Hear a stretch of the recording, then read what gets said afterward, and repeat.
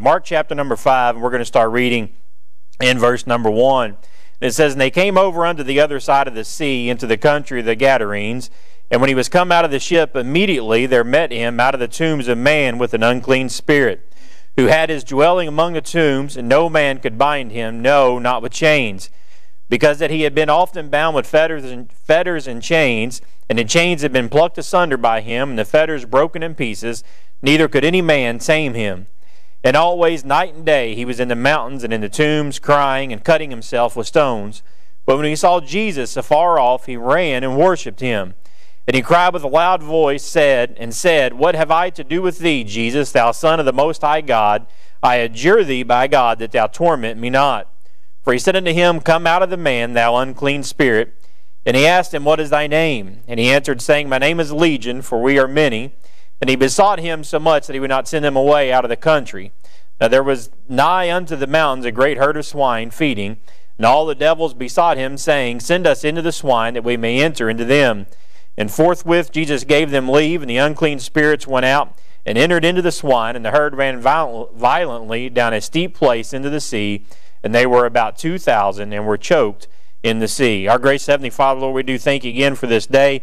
Lord, we just thank you for being so good to us. Lord, we're thankful for everything you blessed us with. We're thankful to be able to be here tonight, Lord.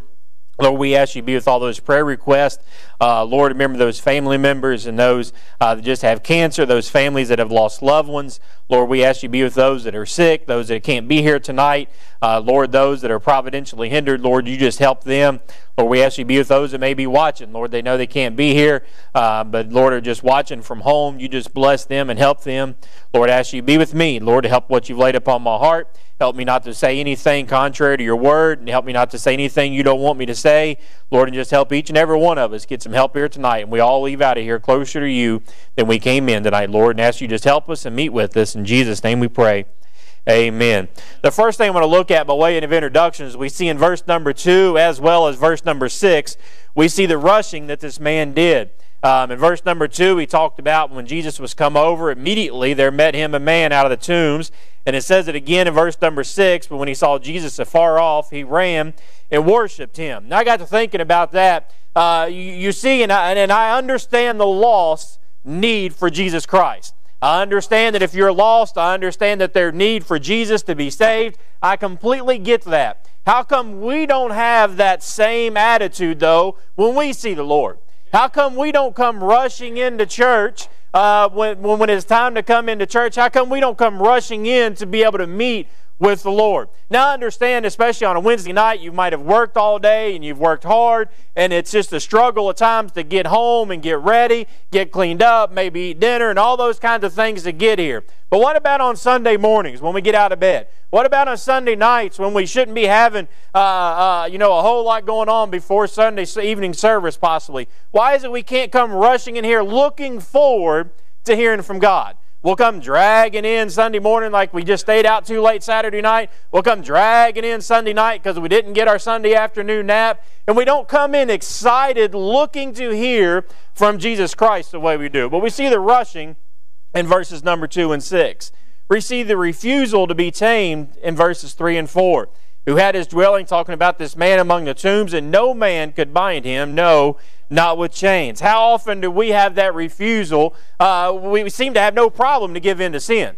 We'll have no problem be having ourselves allowed to be bound by sin. We get caught up in something that takes us away from God, and, and we'll just allow that to just keep us and keep us and harness us. But when it comes to the things of God, we refuse to give in and let God do something in our life.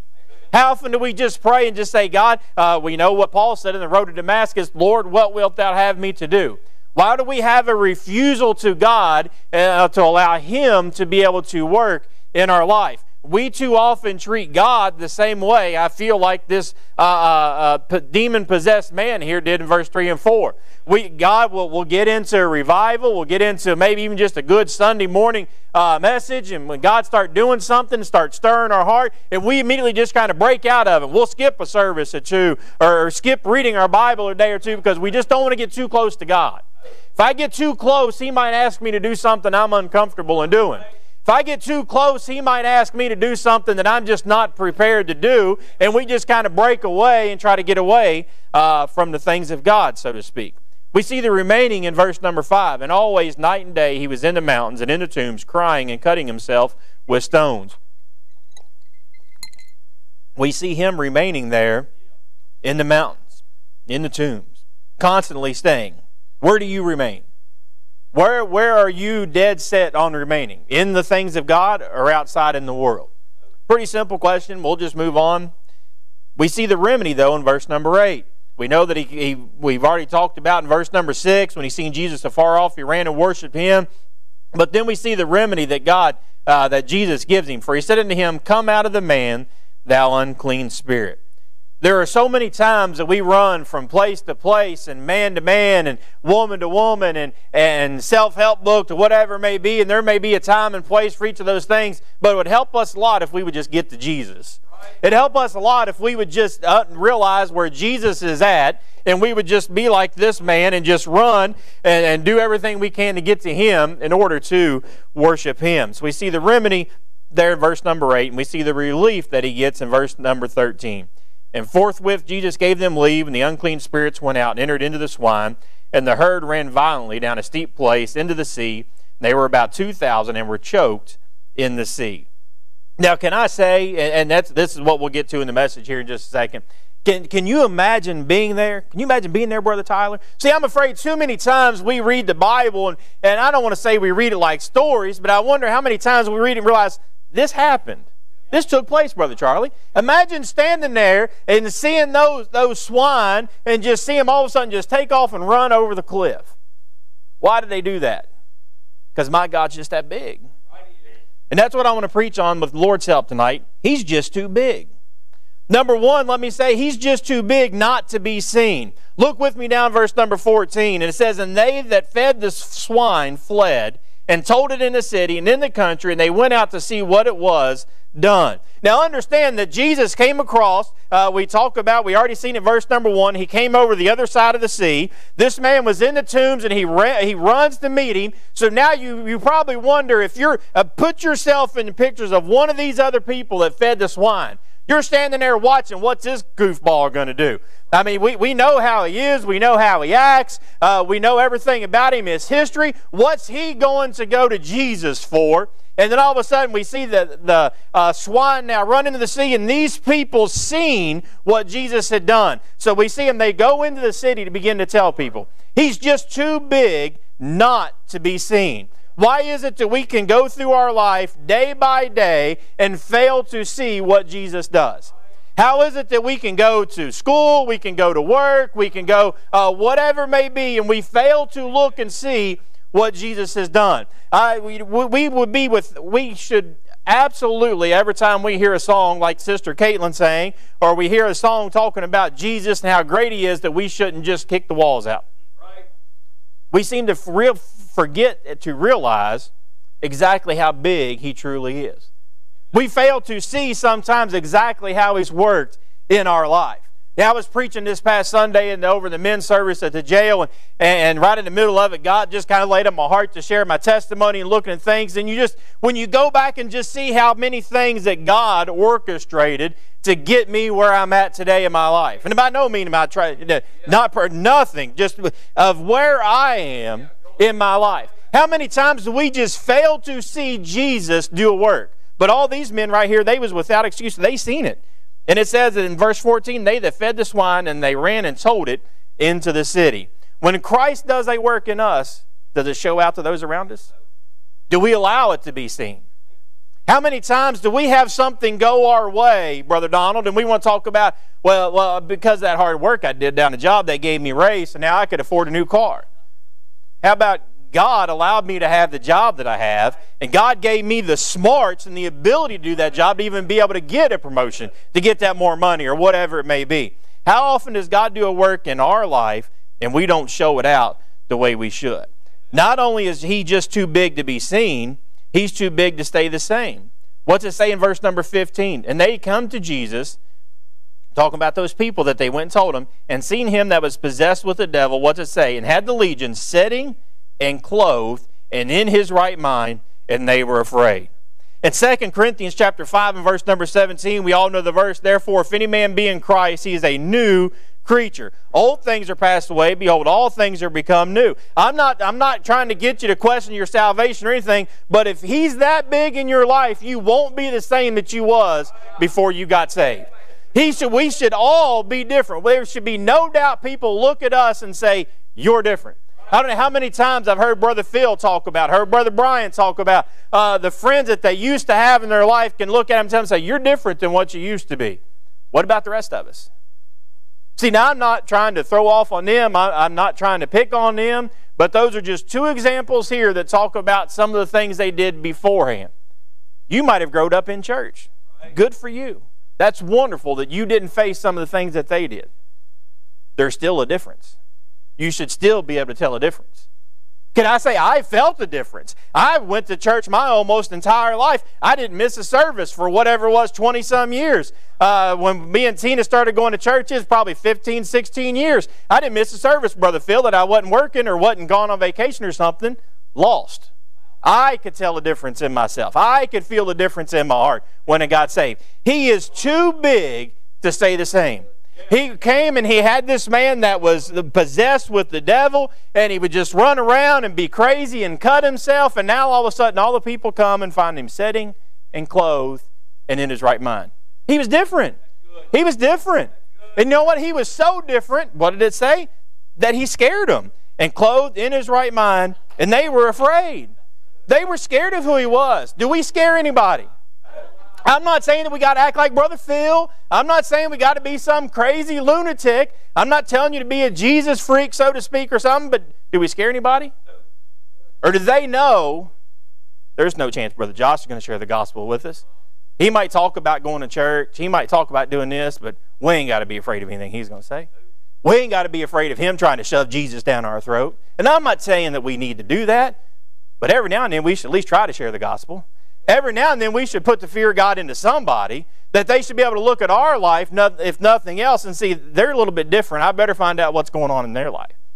He's too big to stay the same. Can I say this thirdly? He's too big not to spread. In verse number 18 and 19, he says, When he was come into the ship, he that had been possessed with the devil prayed him that he might be with him. Howbeit Jesus suffered him, said, but saith unto him, Go home to thy friends and tell them how great things the Lord hath done for thee and hath compassion on thee. How often do we spread the gospel? How often do we share the gospel with anybody? Think back, just sitting here right now, he's way too big for us not to share not only the gospel, but even just what he's done in our life.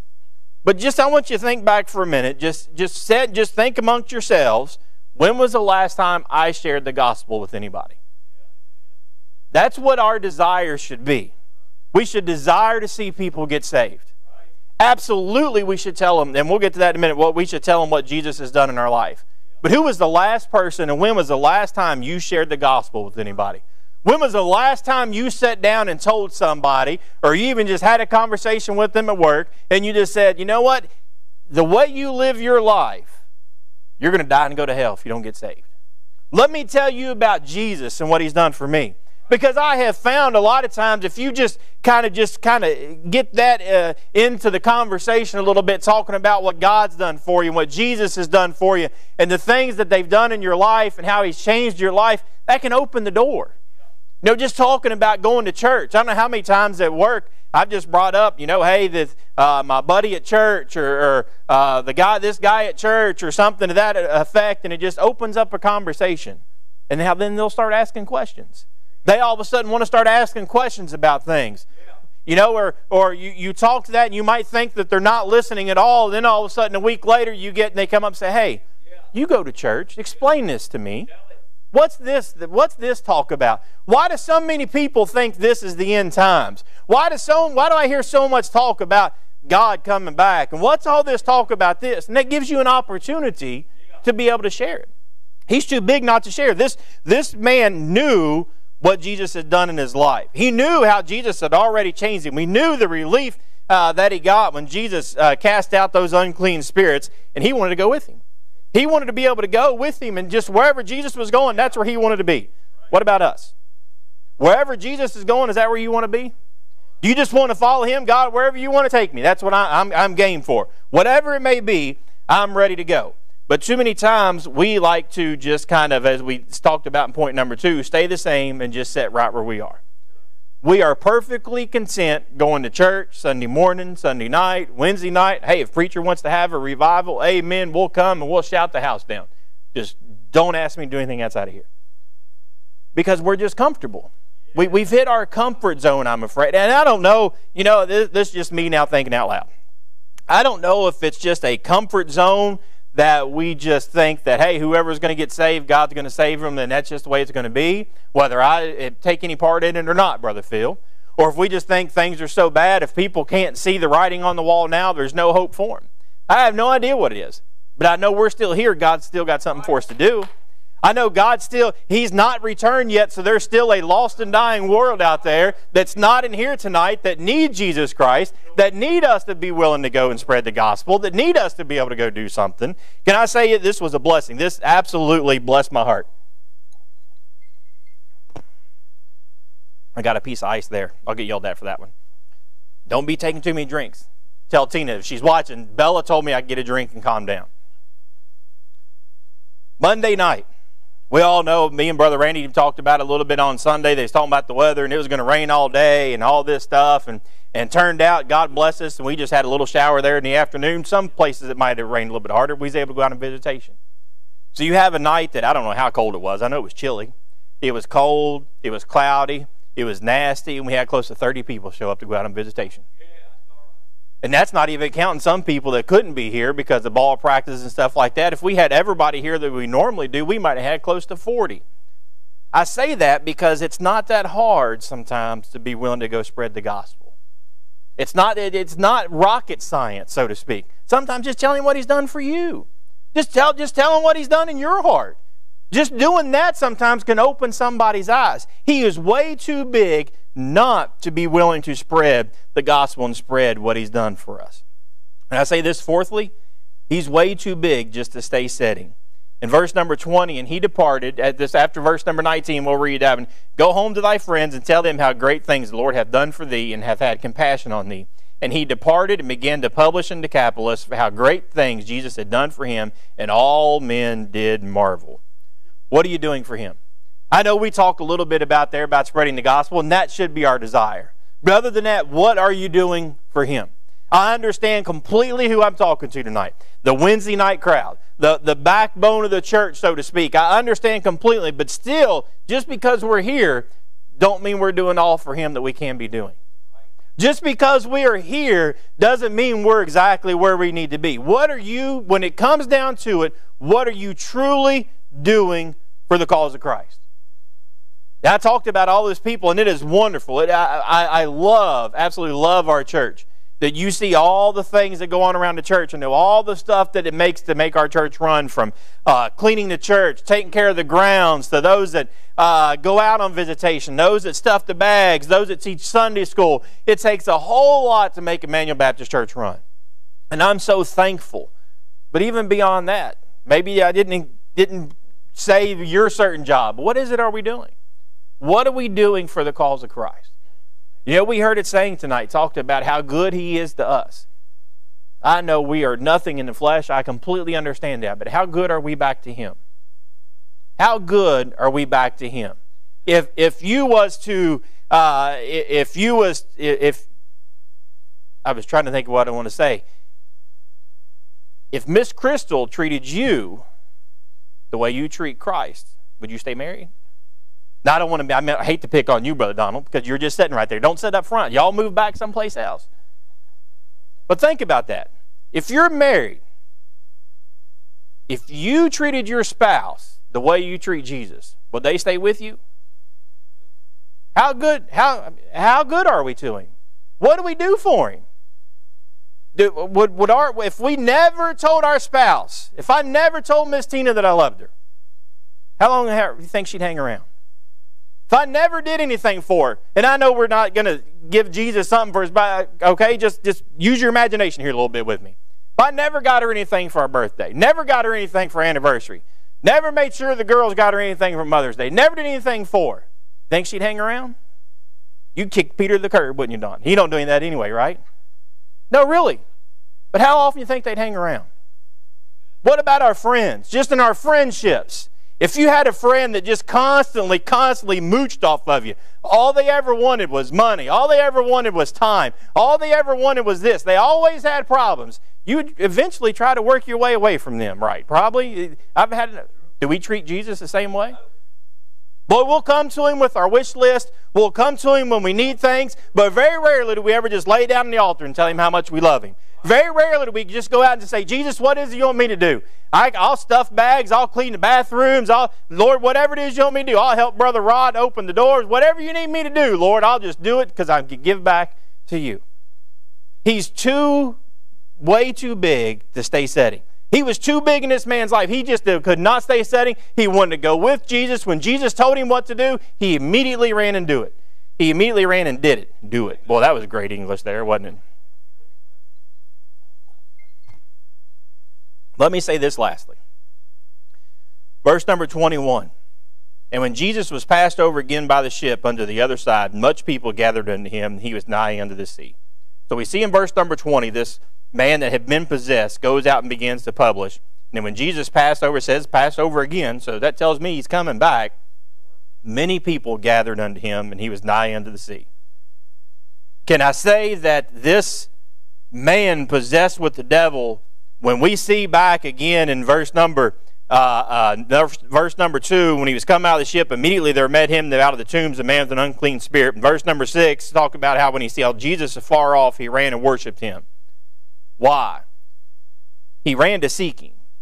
He's way too big for us not to seek him somebody had told this man, or he had heard stories, or somewhere along the line, something about Jesus. He then goes out and tells everybody in verse number 20. In verse number 21, when Jesus comes back again, much people gathered unto him, and he was nigh unto the sea. They went to seek and see what was going on.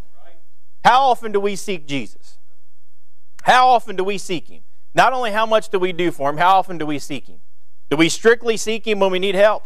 We took those prayer requests tonight. Is that the only time we go to the Lord? Is when we need help? When we need that prayer request? When was the last time, as I said just a minute ago, when was the last time you told him you loved him? When was the last time you just thanked him for everything he's blessed you with? When was the last time you just thanked him for everything he's done for your life? He is too big for us not to seek him. You know, I, this is just strictly uh, my uh, opinion and my little uh, dabbling tonight, maybe so to speak, in politics. You cannot go out into this world without dealing with just a whole lot of nonsense. It is ridiculous, the, some of the stuff that goes on into this world. It would do us a lot of good. The first thing we did in the morning when we got out of bed is to seek Jesus. Lord, I'm going to need your help today. I'm going to come across somebody today that's going to talk nonsense. I'm going to come across somebody today that is absolutely going to get under my skin and make me furious and make me mad about politics, about religion, about whatever it may be. Lord, I'm going to need your help not to do something foolish today. Lord, I'm going to need your help just to let your light shine in my life.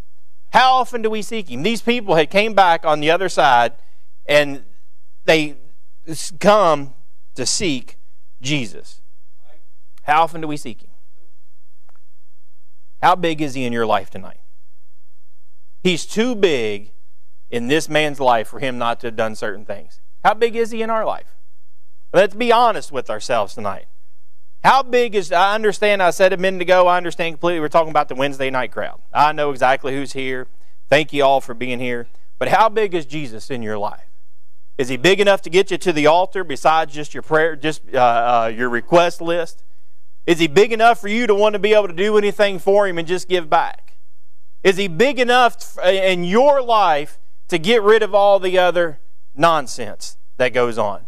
Is he big enough in your life that when you you're faced with that decision, that worldly decision, you know, know what uh, you know? I know the old little sayings. They can sell all their little uh, uh, bracelets or whatever, but how is he big enough in your life to say, "What would Jesus have me to do right here, Lord? What do you want me to do right here?" Lord, what, what, is, what do you suggest my next step be in whatever it is that you're facing? How big is Jesus in your life? Sometimes I'm afraid he's just big enough to get us to church on Sunday, just big enough to get us to church on Wednesday, but that's about it. He's not big enough for us to truly go out into this world and make a difference. Can I say this is one man that was possessed with a, a, a multitude of unclean spirits that it says right here. And this one man all of a sudden brought a whole group of people. He sent a whole group of people out to say once. He brought two groups. If you remember, uh, God just gave me this. So I'm going to open my Bible back up and we'll just we'll keep right on going. We look at him in Mark chapter number five. Well, I guess I must have moved that uh, bookmark right there.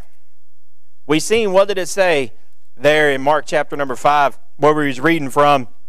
He said in the first group. Uh, after he's had the unclean spirits come out, and in verse number, um, where was that? In verse number 14, and they that fed the swine fled and told it in the city and in the country, and they went out to see what was see what it was that was done. So you got a whole group that come in there, and then we know we just talked about in verse number 21, we have the whole group that came back the second time after he himself went out and told. How much how big is he in our life? How much does he show out to the world? Can I say that we are without excuse in as such a dark time in our world not to allow Jesus' light to shine? For uh, the world around us not to see something different in us. That they most definitely should always be able to look at our life and it's like, you're just different. You're different than everybody else. You just have a different attitude 99.9% of the time. How big is he in our life. Ask Brother Clint to come get a song, a verse of invitation. We'll invite you to come tonight. Uh, uh, maybe just want to come and thank Him for how big He is in your life. Maybe you've reached that spot in your life, and hopefully that's a spot that we all, that when we're faced with those uncertain times, when we're faced with those uncertain decisions, we just know Jesus is going to take care of it because He's just that big in our life. Our gracious Heavenly Father, Lord, we do thank you for this day. Lord, we're thankful for how big you are, Lord.